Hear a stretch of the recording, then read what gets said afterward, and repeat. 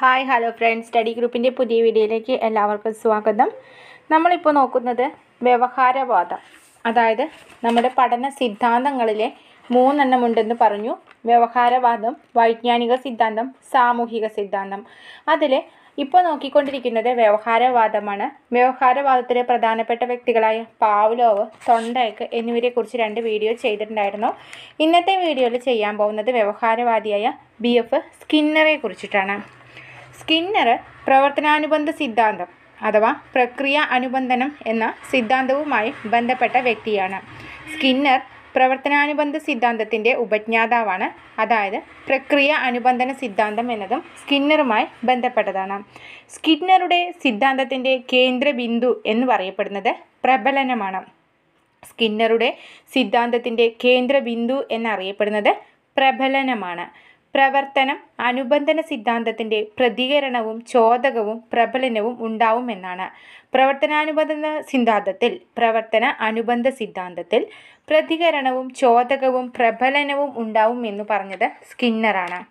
അനുകൂലമായ പ്രതികരണങ്ങൾ ലഭിക്കുന്ന വ്യവഹാരങ്ങൾ ആവർത്തിക്കാനും പ്രതികൂലമായ പ്രതികരണങ്ങൾ ലഭിക്കുന്ന വ്യവഹാരങ്ങൾ ഒഴിവാക്കാനും ഒരു വിദ്യാർത്ഥിയെ പരിശീലിപ്പിക്കുക എന്നതാണ് പ്രക്രിയ അനുബന്ധനം എന്നതുകൊണ്ട് സ്കിന്ന് ഉദ്ദേശിച്ചത്. അനുകൂലമായ പ്രതികരണങ്ങൾ ലഭിക്കുന്ന വ്യവഹാരങ്ങൾ ആവർത്തിക്കുവാനും പ്രതികൂലമായ പ്രതികരണങ്ങൾ ലഭിക്കുന്ന വ്യവഹാരങ്ങൾ ഒഴിവാക്കാനും ഒരു വിദ്യാർത്ഥിയെ പരിശീലിപ്പിക്കുക എന്നതാണ് സ്കിന്നറുടെ അഭിപ്രായം. അതാണ് സ്കിന്നർ പ്രക്രിയ അനുബന്ധനം എന്നതിലൂടെ വിശദമാക്കുന്നത്. ഇനി പ്രബലനം എന്നത്.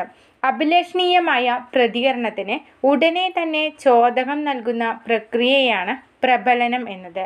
അഭിലഷണീയമായ പ്രതികരണത്തിന് ഉടനെ തന്നെ ചോദകം നൽകുന്ന പ്രക്രിയയാണ് പ്രബലനം എന്നറിയപ്പെടുന്നത്. സ്കിന്നർ തന്റെ പരീക്ഷണം നടത്തിയത് എലി പ്രാവ് എന്നിവയിലാണ്. സ്കിന്നർ തന്റെ പരീക്ഷണം നടത്തിയത് എലി പ്രാവ് എന്നിവയിലാണ്. അനുബന്ധത്തിന്റെ സവിശേഷം എന്ന് പറയപ്പെടുന്നത് പ്രബലനമാണ്. അനുബന്ധത്തിന്റെ സവിശേഷവശം എന്നറിയപ്പെടുന്നത് പ്രബലനമാണ്. സമയോചിതമായി നൽകിയാൽ കൂടുതൽ ഫലപ്രദമാകുന്നതാണ് പ്രബലനം. സമയോചിതമായി നൽകിയാൽ കൂടുതൽ ഫലപ്രദമാകുന്ന ഒന്നാണ് പ്രബലനം എന്നത്. പ്രബലനം രണ്ട് തരത്തിലുണ്ട്. ധനപ്രബലനം ഋണപ്രബലനം എന്നത്. പ്രബലനം രണ്ടു തരത്തിലാണ്. ധനപ്രബലനവും ഋണപ്രബലനവും. അതിൽ ധനപ്രബ പ്രബലനം എന്ന് പറയുന്നത് ധനപ്രബലനം എന്ന് പറയുന്നത് ഒരു പെരുമാറ്റത്തെ ശക്തിപ്പെടുത്താനും പ്രോത്സാഹിപ്പിക്കുവാനും സഹായകമാണ്. അനുകൂലങ്ങൾ സമ്മാനങ്ങൾ എന്നിവയൊക്കെ. ഒരു പെരുമാറ്റത്തെ ശക്തിപ്പെടുത്താനും പ്രോത്സാഹിപ്പിക്കുവാനും സഹായകമായ ഒന്നാണ് ധനപ്രബലനം. അതിന്റെ അനുകൂലങ്ങൾ എന്ന് പറയുന്നത് സമ്മാനങ്ങളാണ്. എന്തെങ്കിലും ഒരു പ്രവൃത്തി ചെയ്യാൻ സമ്മാനങ്ങൾ നൽകാം എന്ന് പറയുമ്പോൾ ആ പ്രോത്സാഹനം ഒരു ധനപ്രബലനമാണ്. ഇനി ഋണപ്രബലനം. തൃപ്തികരമല്ലാത്തതോ അസ്വാസ്ഥാജനകവുമായ ഒരു ചോദകത്തെ ഒഴിവാക്കാൻ വേണ്ടി നിർദ്ദിഷ്ട വ്യവഹാരത്തെ ശക്തിപ്പെടുത്തുന്നതാണ് ഋണപ്രബലനം എന്നറിയപ്പെടുന്നത്. തൃപ്തികരമല്ലാത്തതോ അസ്വസ്ഥജനകവുമായ ഒരു ചോദകത്തെ ഒഴിവാക്കാൻ വേണ്ടി നിർദ്ദിഷ്ട വ്യവഹാരത്തെ ശക്തിപ്പെടുത്തുന്നതാണ് ഋണപ്രബലനം. വേദനാജനകമായ അനുഭവം നൽകുന്നത് ശിക്ഷ. വേദനാജനകമായ അനുഭവം നൽകുന്നത് ശിക്ഷയാണ്. ഏറ്റവും നല്ല പ്രബലനം എന്ന് പറയുന്നത് ധനപ്രബലനമാണ്. ഏറ്റവും നല്ല പ്രബലനം ധനപ്രബലനമാണ്. പരിക്രമീകൃത ബോധനം രൂപപ്പെടുത്തി ഏത് പഠന സിദ്ധാന്തത്തിന്റെ അടിസ്ഥാനത്തിലാണ് എന്ന് ചോദിച്ചാൽ ഓപ്പറന്റ് കണ്ടീഷനിങ് ആണ്. പരിക്രമീകൃത ബോധനം രൂപപ്പെടുത്തിയത്. ഏത് പഠന സിദ്ധാന്തത്തിന്റെ അടിസ്ഥാനത്തിലാണ് എന്നത് ഓപ്പറന്റ് കണ്ടീഷനിങ്ങിന്റെ അടിസ്ഥാനത്തിലാണ്. പ്രവർത്തന അനുബന്ധന പ്രക്രിയയിൽ പ്രബലനം വഴി മാറ്റം വരുത്തുന്നത് ഓപ്പറന്റാണ് പ്രവർത്തന അനുബന്ധന പ്രക്രിയയിൽ പ്രബലനം വഴി മാറ്റം വരുത്തുന്നത് ഓപ്പറന്റാണ് ഒരു ചോദകത്തിലെ സാന്നിധ്യം പ്രതികരണത്തിന് ആവർത്തി കൂട്ടുന്നുവെങ്കിൽ അത് ധനപ്രബലനമാണ്. ഒരു ചോദകത്തിന്റെ സാന്നിധ്യം പ്രതികരണത്തിന് ആവർത്തി കൂട്ടുന്നുവെങ്കിൽ അത് ധനപ്രബലനമാണ്. ക്രമീകൃത പഠനത്തിനായുള്ള രൂപപ്പെടൽ സ്കിന്നറിന്റെ പ്രക്രിയ അനുബന്ധനം വഴിയാണ്. ക്രമീകൃത പഠനത്തിനായുള്ള രൂപപ്പെടൽ എന്നത് സ്കിന്നറിന്റെ പ്രക്രിയ അനുബന്ധനം വഴിയാണ് നടക്കുന്നത്. ഏതെങ്കിലും ഒരു പ്രവൃത്തിയിൽ ഏർപ്പെടുന്ന വ്യക്തിയെ അതുമായി ബന്ധപ്പെട്ട അനുബന്ധനത്തിന് വിധേയമാക്കുന്ന പ്രവർത്തികളുടെ കൂട്ടമാണ് ഓപ്പറന്റ് എന്നറിയപ്പെടുന്നത്.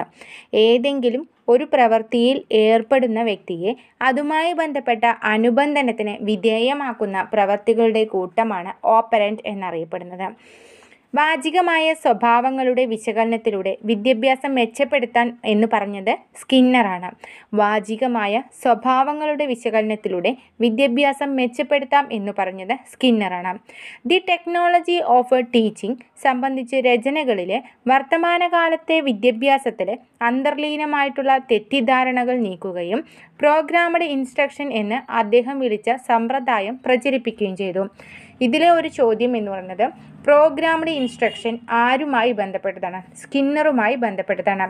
ദി ടെക്നോളജി ഓഫ് ടീച്ചിങ് സംബന്ധിച്ച് രചനകളിൽ വർത്തമാനകാലത്തെ വിദ്യാഭ്യാസത്തിൽ അന്തർലീനമായിട്ടുള്ള തെറ്റിദ്ധാരണകൾ നീക്കുകയും പ്രോഗ്രാംഡ് ഇൻസ്ട്രക്ഷൻ എന്ന് അദ്ദേഹം വിളിച്ച സമ്പ്രദായം പ്രചരിപ്പിക്കുകയും ചെയ്തു. അപ്പോൾ പ്രോഗ്രാംഡ് ഇൻസ്ട്രക്ഷൻ ആരുമായി ബന്ധപ്പെട്ടതാണ്? സ്കിന്നറുമായി ബന്ധപ്പെട്ടതാണ്. ഓപ്പറന്റ് പ്രതികരണങ്ങൾക്കാണ് സ്കിന്നർ പ്രാധാന്യം നൽകിയത്. അവയിൽ ചോദകമല്ല പ്രതികരണമാണ് പ്രധാനം. അപ്പോൾ സ്കിന്നർ പ്രതികരണങ്ങൾക്ക് ഓപ്പറന്റ് പ്രതികരണങ്ങൾക്കാണ് പ്രാധാന്യം നൽകിയത് ചോദകത്തിനല്ല.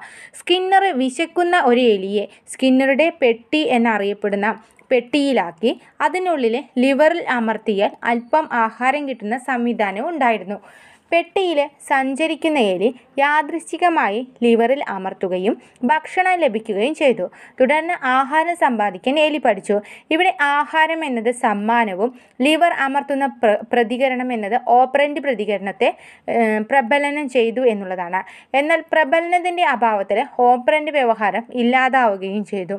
അപ്പോൾ അത് എലി അങ്ങോട്ടും ഇങ്ങോട്ടും നടക്കുമ്പോൾ കാൽ തട്ടുമ്പോൾ അതിന് ഭക്ഷണം ലഭിക്കുന്നു. അപ്പോൾ ഓപ്പറന്റ് പ്രതികരണം ആ അങ്ങോട്ടും ഇങ്ങോട്ടും കാൽ തട്ടുകയും സമ്മാനം എന്നത് ആ- ഭക്ഷണവുമാണ്.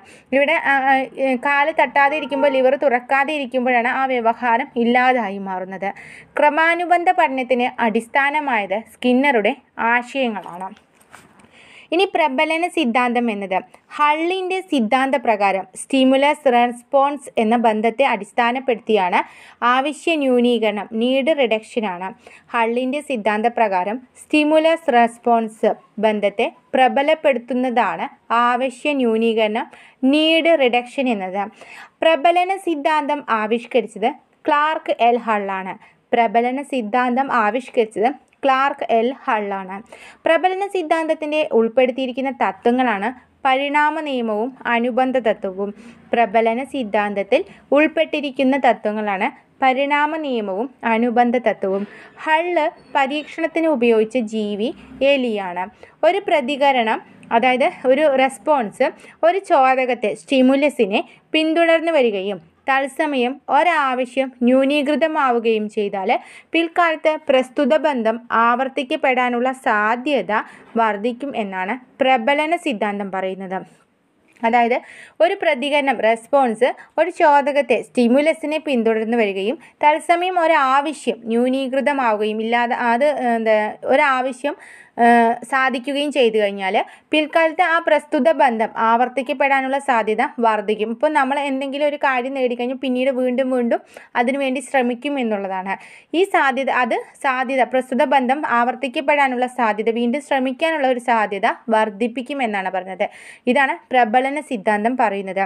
പ്രിൻസിപ്പിൾസ് ഓഫ് ബിഹേവിയർ എന്ന പുസ്തകത്തിന്റെ രചയിതാവ് ക്ലാർക്ക് എൽ ഹള്ളാണ് പ്രിൻസിപ്പിൾ ഓഫ് ബിഹേവിയർ എന്ന ബിഹേവിയർ എന്ന പുസ്ത പുസ്തകത്തിന്റെ രചയിതാവും ക്ലാർക്ക് എൽ ഹള്ളാണ് അപ്പോൾ ഹള്ളിനെ കുറിച്ച് പറയുകയാണെങ്കിൽ പരിണാമ നിയമവും അനുബന്ധ തത്വവും ചേർന്നതാണ് ഹള്ളിന്റെ പ്രബലന സിദ്ധാന്തം എന്നത്. പരീക്ഷണം നടത്തിയത് എലിയിലാണ്.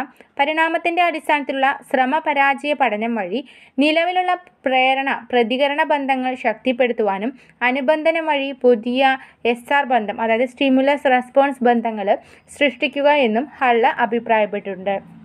ഈ സിദ്ധാന്തപ്രകാരം ആവശ്യ ന്യൂനീകരണം എസ് ആർ ബന്ധത്തെ ശക്തിപ്പെടുത്തുന്നു. പ്രധാനമായും ശ്രദ്ധിക്കേണ്ട ഒരു പോയിന്റാണ് ആവശ്യ ന്യൂനീകരണം. എസ് ആർ ബന്ധത്തെ ശക്തിപ്പെടുത്തുന്നു എന്നത് പറഞ്ഞത് ആരാണ്? ഹള്ളാണ്. ആവശ്യ ന്യൂനീകരണം നീഡ് റിഡക്ഷൻ എന്നത് ആരുമായി ബന്ധപ്പെട്ടതാണ്? ഹള്ളുമായി ബന്ധപ്പെട്ടതാണ്. ദാഹിക്കുമ്പോൾ വെള്ളം കിട്ടിയാൽ വെള്ളം കുടിക്കുക എന്ന ആവശ്യം അവിടെ ന്യൂനീകരിക്കപ്പെട്ടു എന്നാണ് പറയുന്നത്.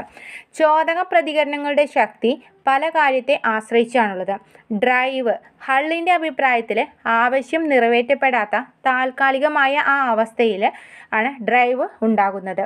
ഹള്ളിന്റെ ഹള്ളിന്റെ അഭിപ്രായത്തിൽ നിറവേറ്റപ്പെടാത്ത താൽക്കാലികമായ അവസ്ഥയാണ് ഡ്രൈവ് എന്നറിയപ്പെടുന്നത്. ദാഹം വിശപ്പ് അറിയാനുള്ള ആഗ്രഹം ഇതൊക്കെ അതിൽ ഉൾപ്പെടുന്നു.